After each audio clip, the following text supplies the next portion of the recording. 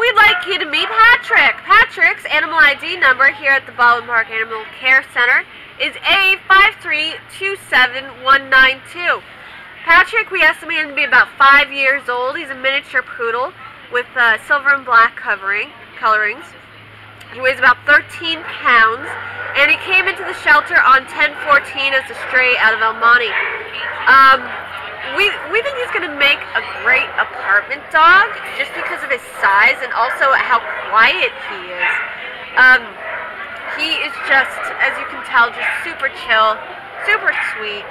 He has, he's just darling too. I mean, look at that tail go. He's got these floppy ears. Looks like he's been shaved. Um, he came in pretty matted, um, but he now that he's shaved and stuff, he's feeling much better, and his fur is his soft fur is going to grow in very nicely. Just absolutely precious. Oh, look at him go with his little paws. Oh, he's just darling, darling boy. He's got this uh, like a take me home look, kind of like those just classic puppy dog eyes. Oh, look at that, so sweet he does need a little bit of TLC and good care, and once he's home, he is just going to open up and blossom. And he is oh, just all around adorable boy. Um, is there anything you'd like to say about our lovely Patrick? Yeah, Patrick is um, great with other dogs. He's been excellent around all sizes. Um, he's not scared of anything as far as we can tell. he's just a brave soul,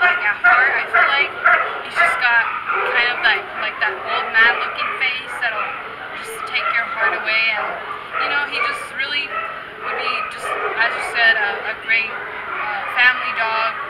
You know, in an apartment if you um, need a quiet just couch potato to just sit there with you and watch movies and things like that. He'd be like the perfect companion for you um, to live out his days. And yeah, he's just so sweet. He's hearts of all the volunteers here. Oh, yeah, just a total little lamb of a dog. So come on out today and meet our sweetheart Patrick.